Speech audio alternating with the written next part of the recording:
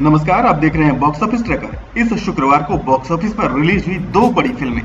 एक अक्षय कुमार स्टारर फ़िल्म मिशन मंगल तो दूसरी जॉन अब्राहम स्टारर फ़िल्म बाटला हाउस। अभी हम बात करेंगे कि अपने पहले दिन इन दोनों ही फ़िल्मों ने बॉक्स ऑफ़िस पर कितना कलेक्शन किया और ये आज कितना कलेक्शन कर सकती हैं। 15 अगस्त का फ़ायदा लेने के लिए ये दोनों ही फ़िल्में शुक्रवार की बजाय गुरुवार 15 अगस्त को रिलीज़ हुई।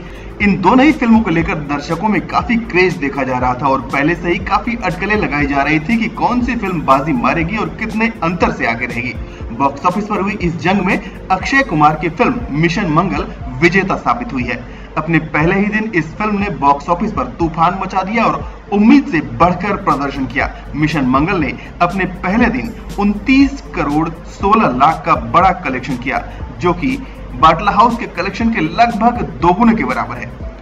गर्व की भावना से भर देने वाली इस फ़िल्म को दर्शकों ने खूब पसंद किया है। ये फ़िल्म अक्षय कुमार की सबसे बड़ी ओपनिंग लेने वाली फ़िल्म, हिंदी फ़िल्म बन चुकी है। और अक्षय की ये एक और 100 करोड़ी फ़िल्म साबित होने जा रही है, ये पक्का है।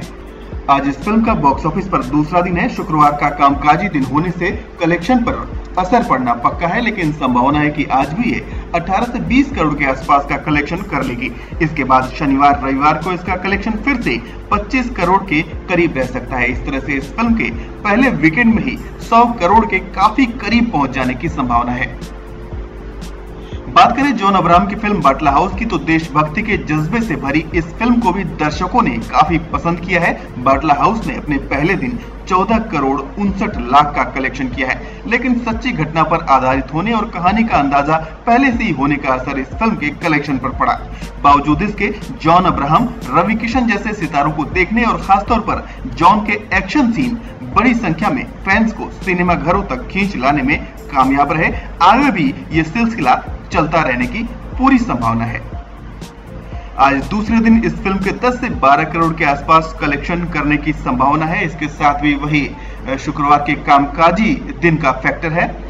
पहले वीकेंड में शनिवार, रविवार को फिर से इसके कलेक्शन में बड़ा उछाल आने की संभावना है। फ़र्स्ट वीकेंड में इसका कलेक्शन 50 करोड़ के आसपास रह सकता है।